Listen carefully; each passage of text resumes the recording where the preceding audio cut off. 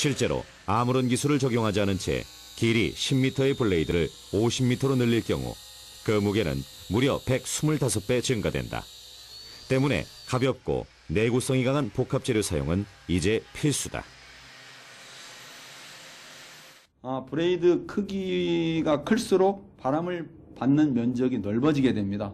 즉 바람을 받는 면적이 넓어질수록 동일한 자연 에너지 바람을 가지고 많은 양의 전력을 생산할 수 있는 원동력이 됩니다. 따라서 대형화될수록 많은 전력을 생산할 수 있게 되고 그 결과로 세계에서는 점점 대형화되고 있다라 이렇게 말씀드릴 수 있습니다.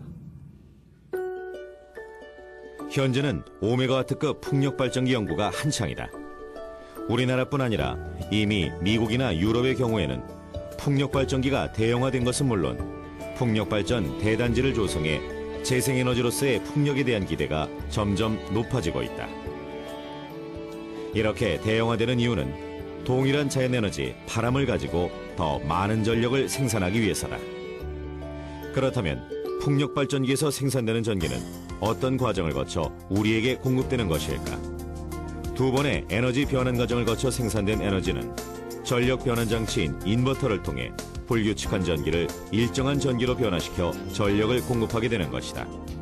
생산된 전기는 기존의 발전소에서 생산된 전기와 합쳐져서 가정과 공장 등 여러 곳에서 사용되게 된다.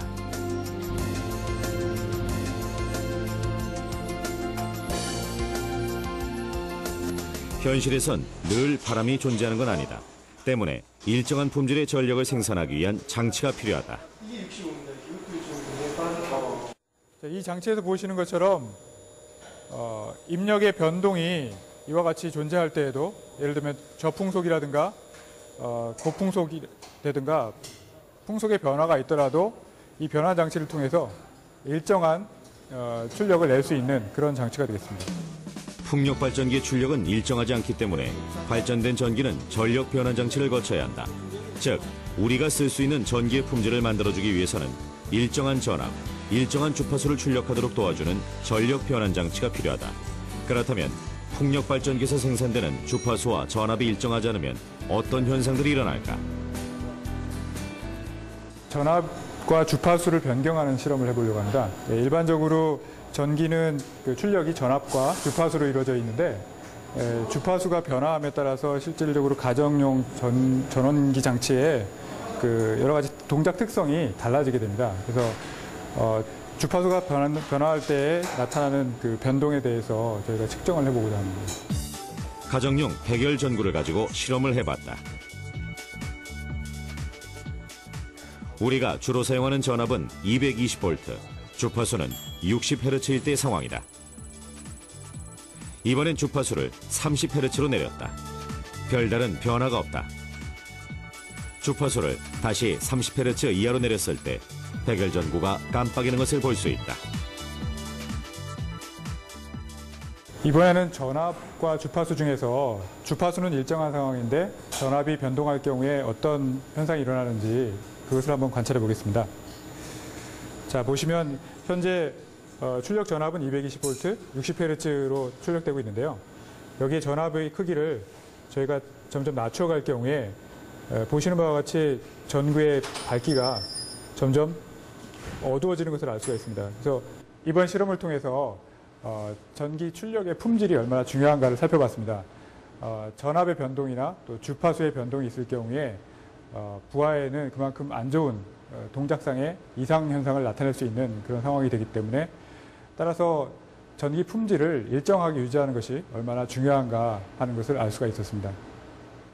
풍력 발전에 대한 관심이 높아지면서 꼭 해결해야 할 문제가 전기의 품질이다.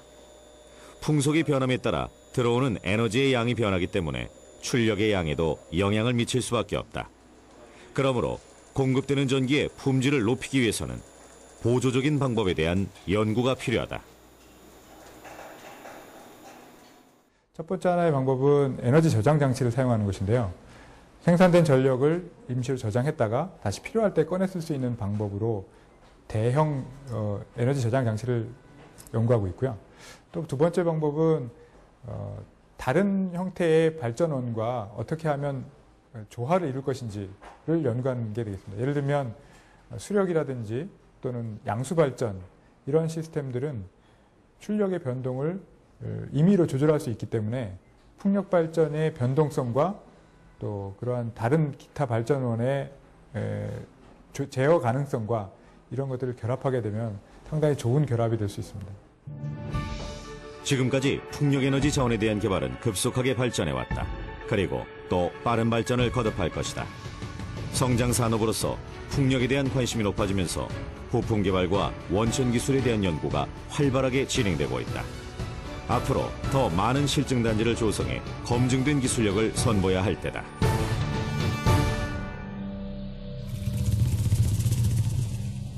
페르시아만의 가장자리에 위치한 도서국가 바레인.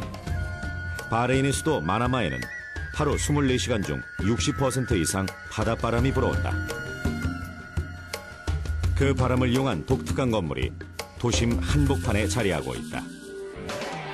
2008년 완공된 바레인 세계 무역센터다. 두 개의 건물이 쌍둥이처럼 서 있는데 그 사이에는 세 개의 풍력 터빈이 설치되어 있다. 지상으로부터 60m, 100m, 140m에 각각 하나씩 설치되어 있는데 바레인의 바닷바람에 의해 돌아가고 있다.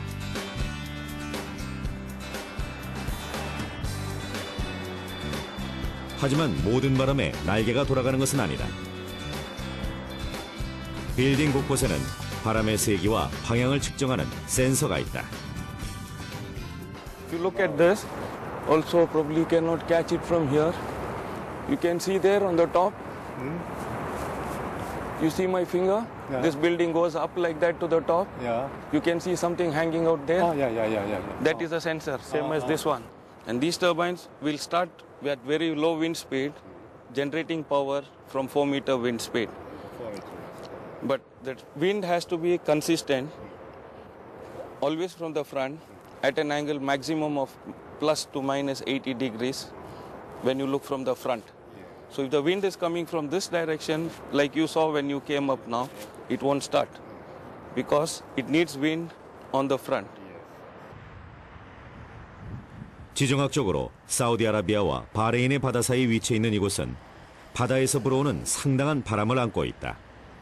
그 점에서 건물에 풍력 발전기를 설치하는 아이디어가 시작됐다.